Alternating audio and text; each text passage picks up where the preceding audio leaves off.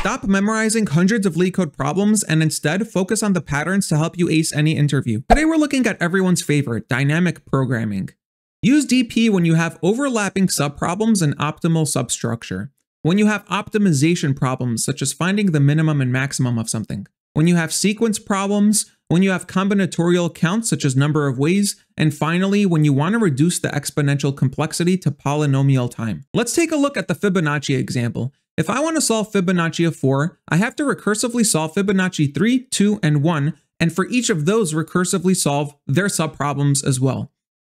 What happens here is that we repeat a lot of the calculations that we already solved in the past on the left-hand side.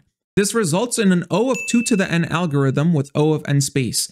Can we do better? We can use the top-down approach with memoization.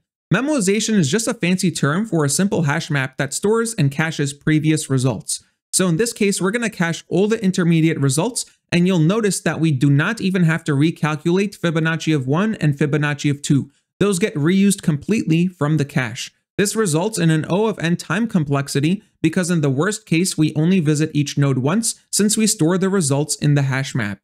The next iteration is to solve this iteratively. We call this the bottom-up or tabulation approach. In this case, we start with the initial base cases and we work ourselves up to the global solution.